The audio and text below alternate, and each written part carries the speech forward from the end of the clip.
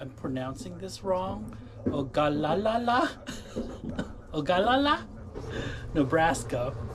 It's a nice park. Everything is pretty much stoned. Uh, very windy out here in the Nebraska plains. The people they have running the place very friendly. So yes, I would stay here again. I'm here overnight.